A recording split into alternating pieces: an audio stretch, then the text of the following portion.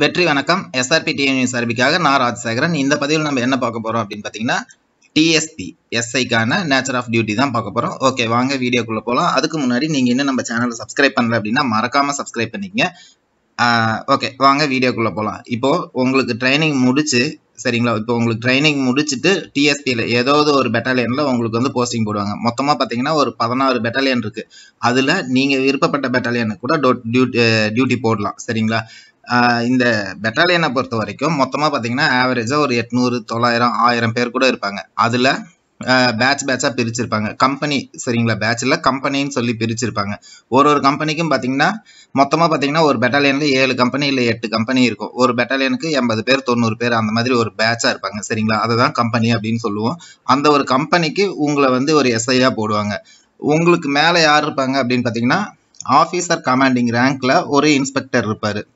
அவருக்கு கீழே தான் நீங்கள் எஸ்ஐயாக இருப்பீங்க. உங்களுக்கு கீழே ஒரு கம்பெனி இருக்கும். அதாவது ஒரு எண்பது டு தொண்ணூறு பேர் கொண்ட ஒரு குழு சரிங்களா? அதுதான் கம்பெனி அந்த ஒரு கம்பெனி இருக்கும். அவங்கள ஃபுல்லாக நீங்கள் மெயின்டைன் பண்ணிக்கிறதா வேலை. இங்கே இந்த டிஎஸ்பி எஸ்ஐயை பொறுத்த வரைக்கும் மெயின் டியூட்டி என்னன்னு பார்த்தீங்கன்னா ஆஃபீஸ் ஒர்க்கு மெஸ்ஸு அப்புறம் ஜென்ரல் டியூட்டி இந்த மாதிரி மூணாக பிரிப்பாங்க. ஒரு ஒரு பெட்டாலியனில் இந்த மூணுக்கும் தனித்தனி எஸ்ஐ இருப்பாங்க. சப்போஸ் இந்த மூணுக்கும் ஒரே எஸ்ஐயாக உங்களை போட்டாங்க அப்படின்னா இந்த மூணு வேலையும் நீங்களே தான் செய்கிற மாதிரி இருக்கும். சரிங்களா? மூணு எஸ்ஐ இருந்தால் ஒருத்தர் ஆஃபீஸ் ஒர்க்கு ஒருத்தர் மெஸ் ஒர்க்கு இன்னொருத்தர் வந்துட்டு ஜென்ரல் டியூட்டி பார்ப்பாரு.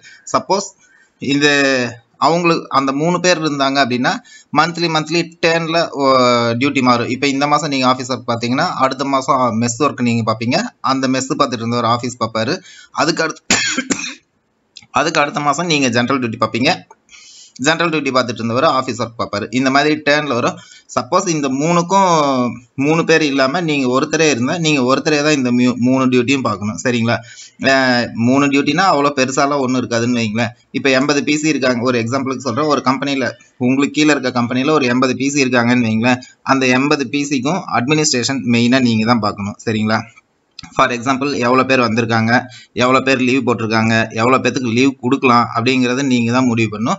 இப்போ எண்பது பேர் ஒரு தொண்ணூறு பேர் இருக்காங்க அப்படின்னு வச்சுக்கோங்களேன் அந்த தொண்ணூறு பேர்த்தில் நீங்கள் பத்து பர்சன்டேஜுக்கு தான் லீவ் தரணும். பத்து பர்சன்டேஜ்னா ஒரு எட்டு டு ஒம்பது பேர்த்துக்கு தான் நீங்கள் லீவ் தர முடியும். அதில் யாராவது ஒருத்தங்க இயரில் இருக்காங்க அப்படின்னா இதில் பார்த்தீங்கன்னா பெட்டாலியனை பொறுத்த வரைக்கும் இருபத்தி ரெண்டு நாள் உங்களுக்கு லீவ் தருவாங்க ஒரு வருஷத்துக்கு. இப்போது பெட்டாலி இப்போ இஎல்ல e இருக்காங்க அப்படின்னா இஎல் டென் டேஸில் ஒருத்தர் இருப்பார். மெடிக்கலில் ஒரு மெடிக்கல் லீவில் ஒருத்தர் போயிருக்காரு அப்படின்னா இப்போ அவர் முப்பது நாள் லீவில் இருப்பார்.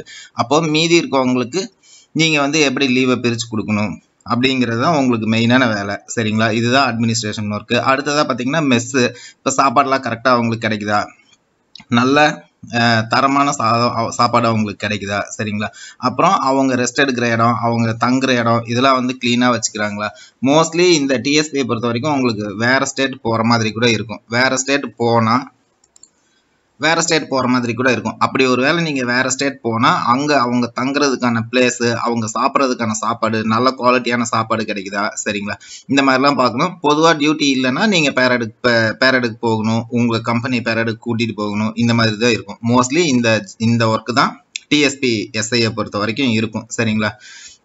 மெயினாக உங்களுக்கு கீழே இருக்க உங்கள் கம்பெனியில் இருக்க பிசிக்கு ஏதாவது ப்ராப்ளம்னா நீங்கள் தான் அவங்களுக்கான சொல்யூஷனை சொல்லணும். நீங்கள் தான் அந்த ப்ராப்ளத்தை எல்லாத்தையும் சால்வ் பண்ணணும். அதே மாதிரி நீங்கள் இதில் வந்து மெயினாக என்ன செய்யணும் அப்படின்னு பார்த்தீங்கன்னா யாருக்கிட்டையும் பார்ஷியாலிட்டி பார்க்கக்கூடாது. சரிங்களா? இந்த கம்யூனிட்டி வைஸ் இவங்க பெரிய ஆள் அவங்க சின்ன ஆள் அந்த மாதிரியான பார்ஷியாலிட்டிலாம் பார்க்கக்கூடாது. மற்றபடி இதில் உங்களுக்கு டைம் நிறையவே இருக்கும். நீங்கள் ஹையர் ஸ்டடீஸ் படிக்கிறதுனா கூட படிக்கலாம். இது பார்த்தீங்கன்னா ரொம்ப ப்ளசண்ட்டாக இருக்கும்னு வைங்களேன். நல்லா ஜாலியாக லிபரலாக இருக்கிறதுல ஈஸியான வேலை அப்படின்னு கூட சொல்லலாம். நல்லா லிபரலாகவே இருக்கும்னு வைங்களேன் அதுக்கடுத்து இதோட ப்ரொமோஷன் இந்த இதோட ப்ரொமோஷனை பொறுத்த வரைக்கும்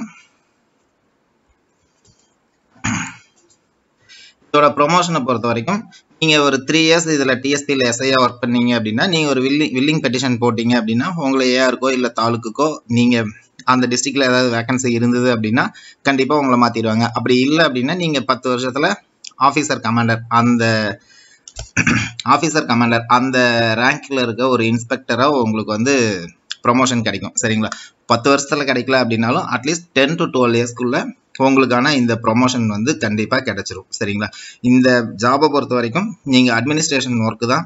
இதை மட்டும் நீங்கள் பெஸ்ட்டாக பண்ணினாவே போதும். உங்களுக்கு ரொம்ப சிறப்பாகவே இருக்கும். உங்களுக்கு உங்களுக்கு கீழே இருக்கவங்களுக்கு டேர்ன் படி டியூட்டி தரணும்னா டியூட்டி லீவ் தரணும்னா லீவு சரிங்களா? எந்த இப்போ பா பார்த்தீங்கன்னா ஒரு ஒருத்தங்க வந்து இப்போ எண்பது பேர் இருக்காங்க அப்படின்னா அதில் யாரோ ஒருத்தர் ரெண்டு பேர் வந்துட்டு டியூட்டிக்கு போகாமல் சும்மா அப்படியே ஏமாற்றிட்டே கூட இருப்பாங்க.